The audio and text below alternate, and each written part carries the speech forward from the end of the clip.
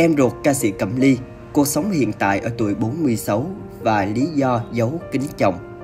Ca sĩ Minh Tuyết sinh năm 1976 là em gái ruột của ca sĩ Cẩm Ly và ca sĩ Hà Phương. Năm 2013, Minh Tuyết thu hút sự chú ý khi lên xe hoa với chú rể là doanh nhân tên Diệp Nghi Kef. Sau khi kết hôn, nữ ca sĩ khá kín tiếng chuyện đời tư, cô gần như giấu kính chồng với công chúng. Trong lần về nước mới đây, ca sĩ Minh Tuyết đã tiết lộ lý do cô không muốn chia sẻ cuộc sống hôn nhân vì sợ chồng buồn.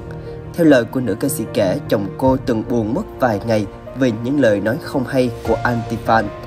Khán giả có người thích mình, cũng có người không thích mình. Antifan thì thường hay buông những lời không hay, ví dụ như họ nói kiểu tại sao ông xã Minh Tuyết nhìn như thế này, nhìn như thế kia.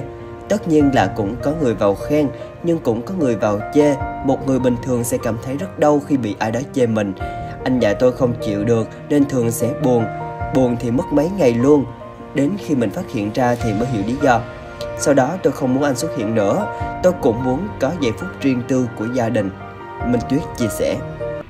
Mặc dù không thích xuất hiện trước công chúng nhưng chồng Minh Tuyết vẫn luôn chia sẻ với cô mọi hoạt động trong đời sống.